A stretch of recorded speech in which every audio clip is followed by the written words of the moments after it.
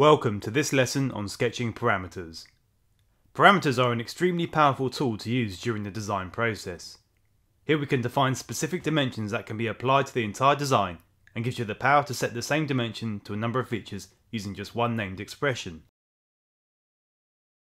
You can take comfort in the fact that you only need to amend one figure and it will propagate against those dimensions that have been assigned the same expression. This video will detail the types of parameters and how you can apply them to our valve bonnet we are designing. First I'm going to explain how to access the parameters dialog box and cover what's inside. Open up the change parameters dialog box under the modify drop down or through the shortcut command we are met with three headings which are Favourites, User Parameters and Model Parameters. I'll explain how we can add expressions to our favourites, along with how you can really utilise user parameters later, so for now, I'll start with model parameters. Model parameters are automatically added as you create dimensions to your sketch, or when you generate a solid body.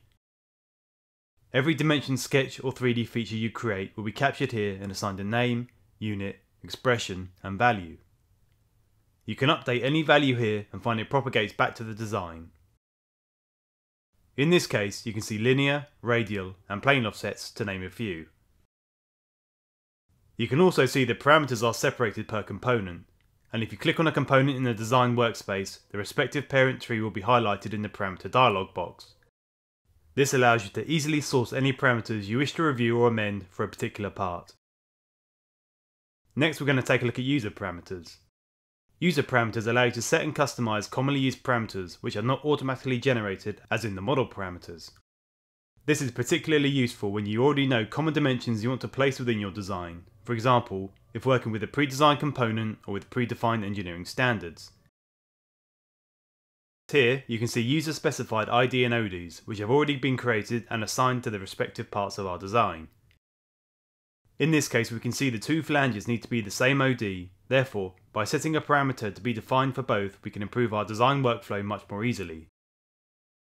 Here I'll create a flange outside diameter parameter, which I will then assign to our valve body and bonnet flange to highlight how effective parameters are. In the parameters dialog box, first click on the plus symbol under user parameters. Enter the details of your parameter in the respective cells and hit OK. Now we'll amend some existing dimensions that will reference this parameter. Open up and edit Sketch 8 which sits under the valve body. You will see the 70mm diameter at the top, which is what we need to change, so in the future we only need to update our value in the parameters dialog box and this value will update any dimensions that have this flange OD reference. Double click on the dimension and type in OD. You will see a list pops up with our newly created flange OD at the bottom. Select this and the dimension is now updated. You will see the value is changed with an fx preceding it. This fx is indicating that an expression is being used as opposed to a directly entered value.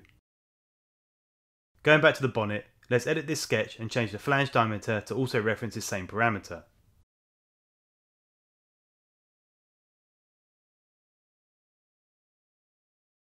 Stop the sketch, and now we have both the OD for the valve body and the bonnet flange set to the parameter flange OD, which is currently 70mm. Now, when I amend our newly created parameter, both flanges update simultaneously. Previously, if you needed to amend these outside diameters, you may have had to do so separately for each body, meaning additional design time and more risk of modelling errors. With parameters, we can simply open the dialog box, amend the respective value, and you'll see any reference features will be updated simultaneously.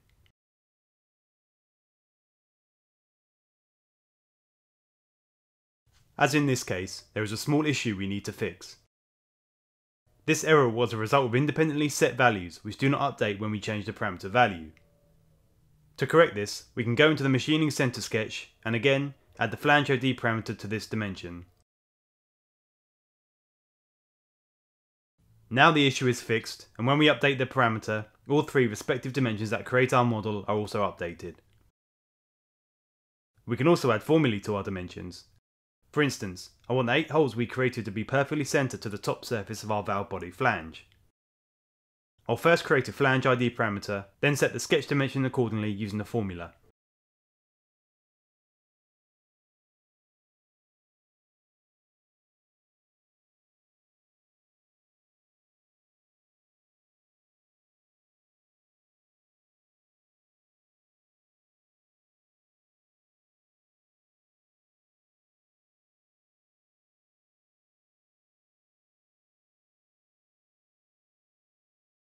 Now you can see when I update our flange OD value again, the holes will always be centered with that top face. Finally, Favourites is useful when you have a model defined parameter you need to either reference or amend frequently. Click on the star next to any model or user defined parameter and this will appear under the Favourites tab. Parameters are a powerful modelling tool, helping you reduce design time, mitigate modelling errors, and maintain a consistent model. You have the ability to change just one value for a multitude of dimension features, improving your workflow and design process, as well as improving design and manufacturing collaborations.